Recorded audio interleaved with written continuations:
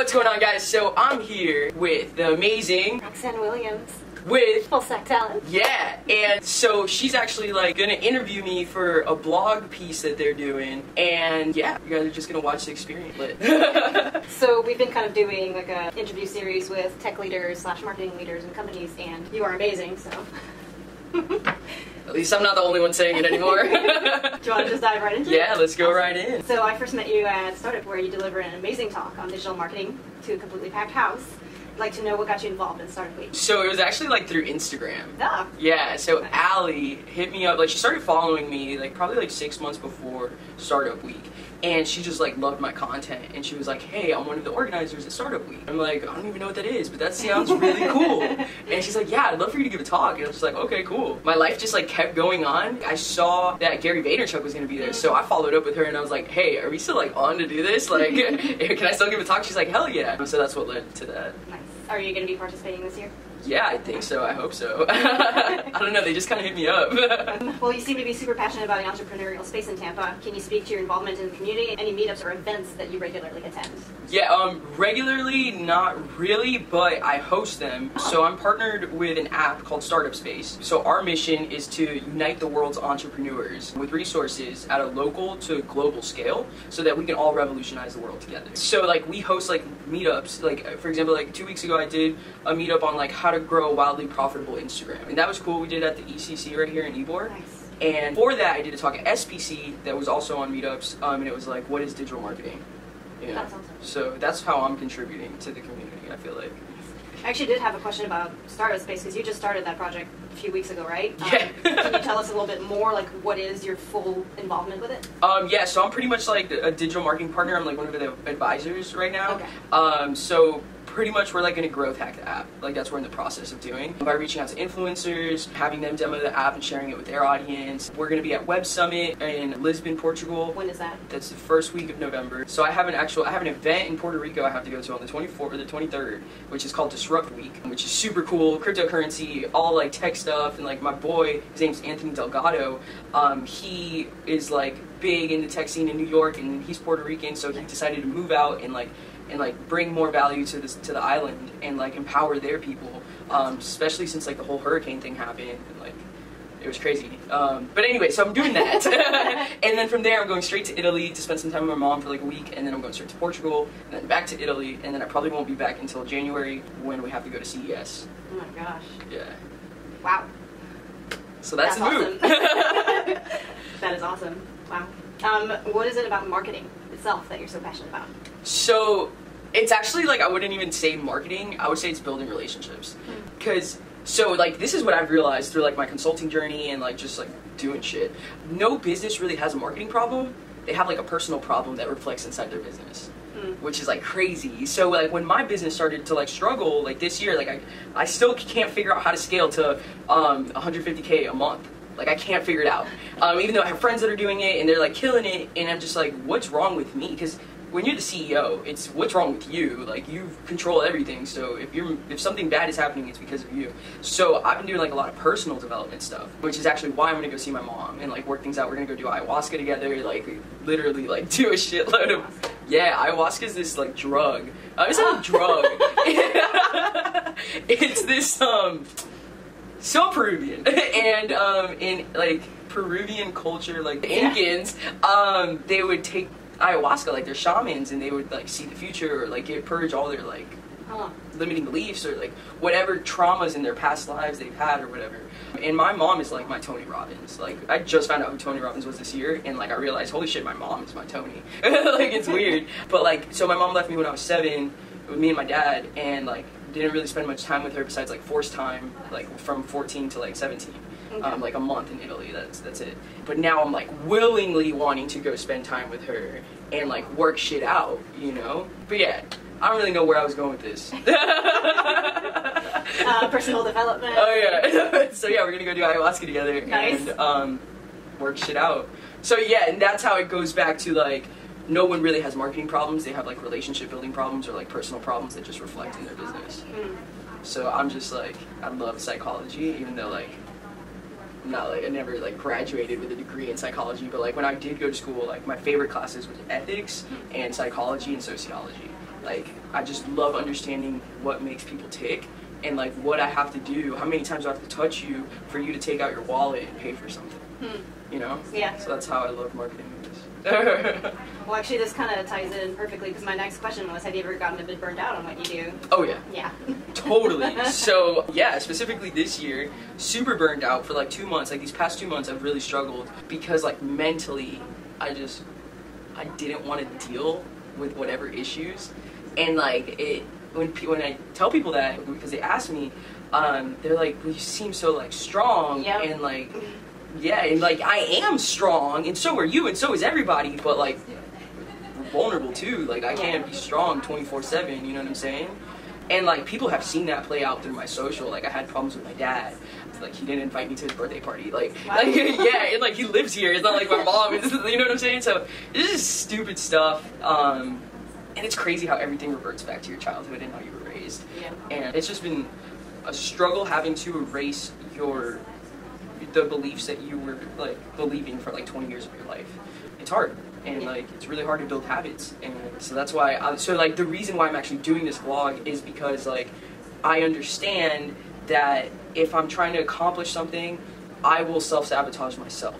You know what I'm saying? Yep. So if I don't, if I take away all the back doors of me not being able to like back out, like I'm golden. Like I'll get to that goal. You know what I'm saying? So like this helps me work out. This helps me stay on track of my work. This is because I have to be real. You know what I'm saying? Yeah. So like I genuinely want a lifestyle change, and if I have to document the entire journey, I will. Parsing all the bullshit away, taking the walls down. Accountability. Exactly. Yeah. Exactly. That's good. That's good. We're getting the raw Laura today. Hell yeah, always. Um, so you actually posted a video earlier today about time as a commodity, respecting your time instead of blowing through it.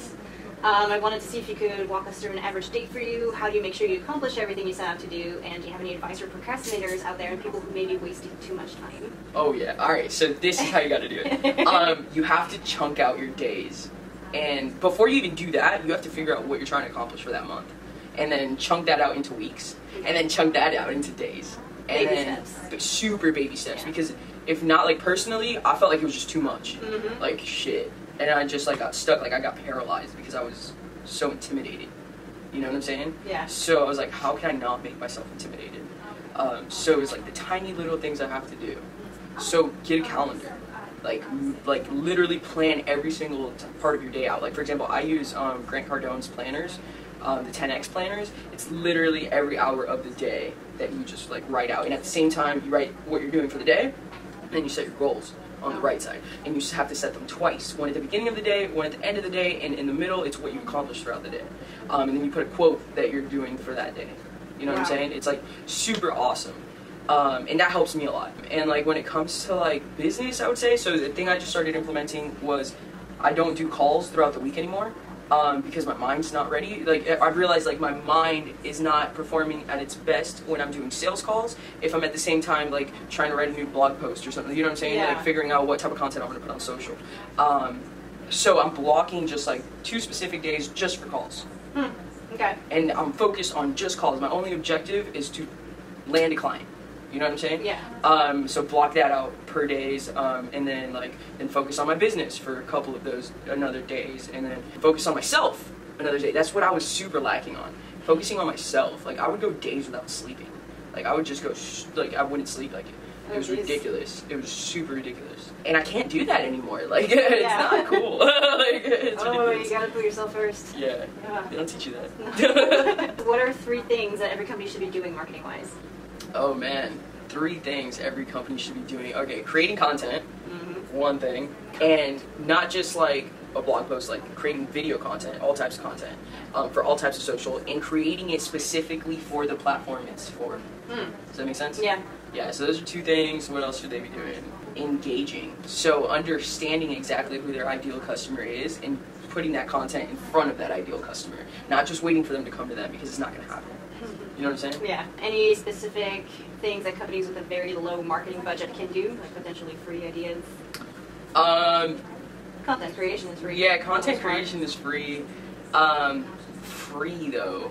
Uh, there's no way to really scale free. I mean, you start off really low like that, and then when you can afford it, Facebook ads. Yeah, um, but like I scaled my business without Facebook ads, and I sell Facebook ads. Like, you know what I'm saying? Like, it's it's not about Facebook ads. It's about like hacking attention. That's what it's about. Like, if I like, for example, one of the strategies I did was I put up a case study, and I like took a picture of the title of the case study, and I posted it on on my Instagram account, and then I used hashtags to find my ideal client. So like hashtags that they were using, that they were looking at. You know what I'm saying? Okay. And then I posted that, and then they clicked on the link in my bio and went straight to my case study, went through my funnel, and then booked a call. Nice. And that's that's I was that's not free though, so, but like that's Very cheap. Very cheap. Very yeah, cheap, yeah, yeah. yeah. Nothing. I mean, you gotta work for it. so I don't I don't know about free. So I already know your answer to this, but I want everybody else to hear it. Facebook ads versus Google ads. It depends. I both really? both. Oh, I Um, thought for sure you would have said Facebook ads. yeah, no, totally. I love Facebook ads, but I also love YouTube ads. YouTube ads. Yeah. Um, Google AdWords, no. but YouTube Display Network, like all that shit, yes.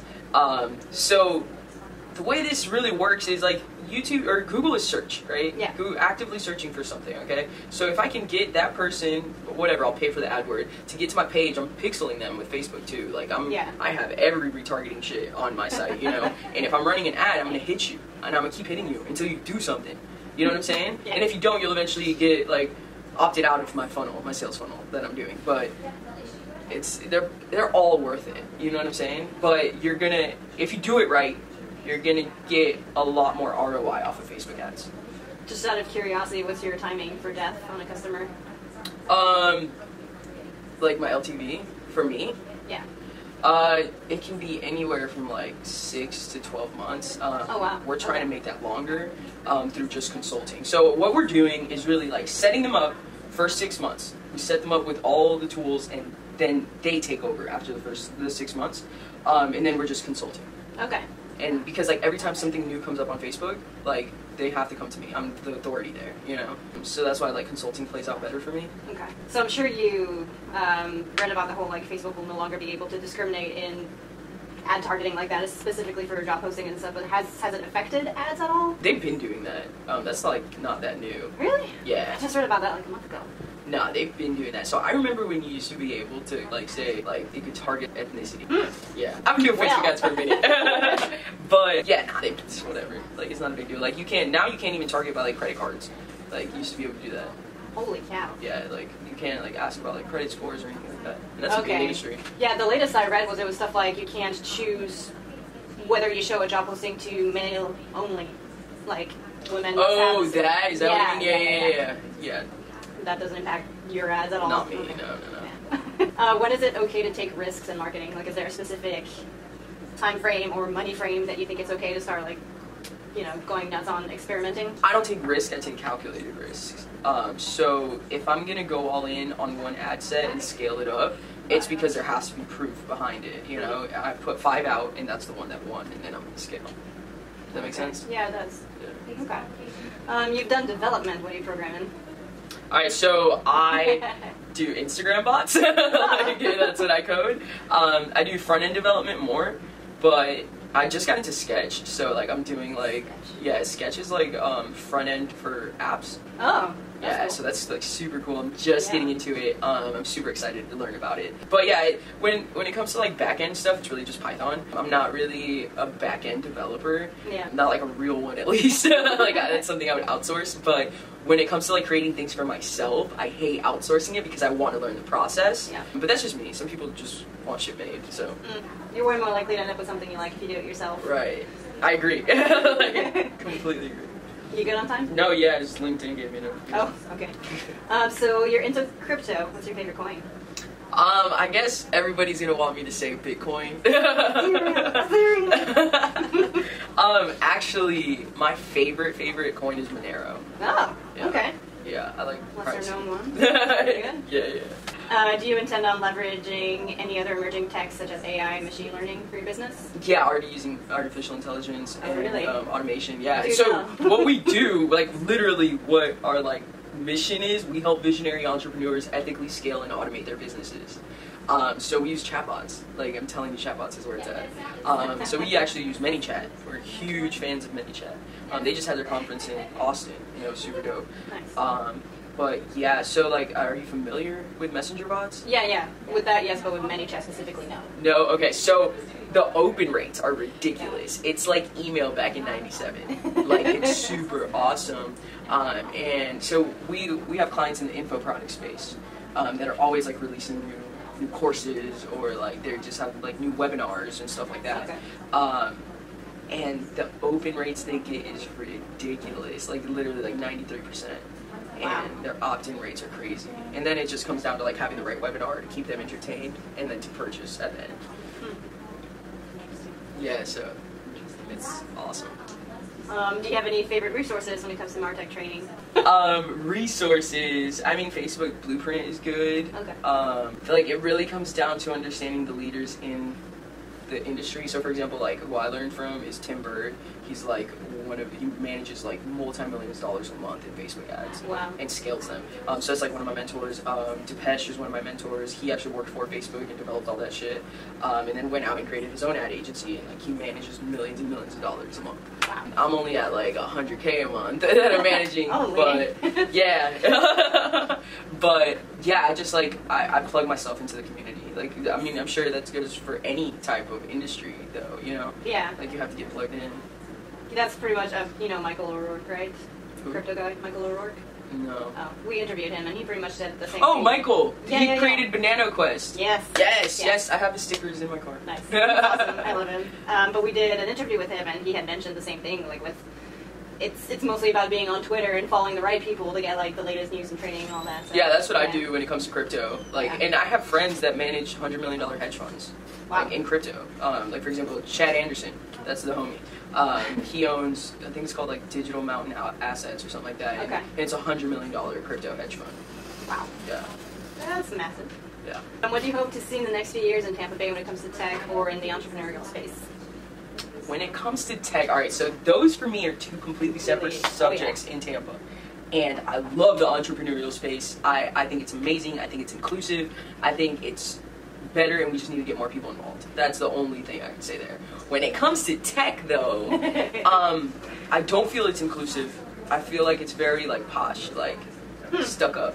I, I feel like I don't know if anybody else feels that way, um, but that's how I feel, and I feel like it can be a lot more inclusive. And we just need to. I feel like we just need to provide kids more resources with tech, like because the school systems aren't doing it, yeah. you know. And like I'm telling you, as a troubled child, a MacBook Pro changed my life. Mm-hmm. Like seriously, a MacBook Pro and Sublime Text changed my life. Like, and if I can be that resource, like that's also why I got involved in startup space. It's it's an online incubator. I, I'll teach you whatever, like, you know, and that's why I'm also recording my days, like, and what I have to give to people, you know, because like I can't keep this shit to myself. It's not like it's cool. It's, that's not it's cool. like we got to share the knowledge, you know, Yeah. because how else are we supposed to grow as a society? That's awesome. Um, who is a person or an organization that you think is doing something right in the area? Well, startup space is doing great things. um, startup week, startup week, they're doing awesome things. I will tip my hat to Startup Week, though. They do amazing. Amazing. Yeah, for the size of their events, Any further thoughts or insights you'd like to share? Anything exciting coming down the pipeline for yourself or for DivibeTech? well, we're doing Web Summit and we're doing CES. like, and, and my life is exciting. I don't know, like you guys will watch the journey. Follow me on Instagram, like, and you'll see everything that's. happening. I mean, yeah, there's a lot of exciting things. I'm growing as a person. Like, it's like I'm definitely not the same person I was in February when I did um, Startup Week. Startup Week. Yeah. Yeah. Like at all. Like I like cringe watching myself. like it's it's crazy. I just want to empower people, and I would be super thankful if people want to watch that journey, and maybe like they get motivated to empower people too. You know? yeah. So, forward. Yeah, exactly. And that's it. that was dope. That was really good.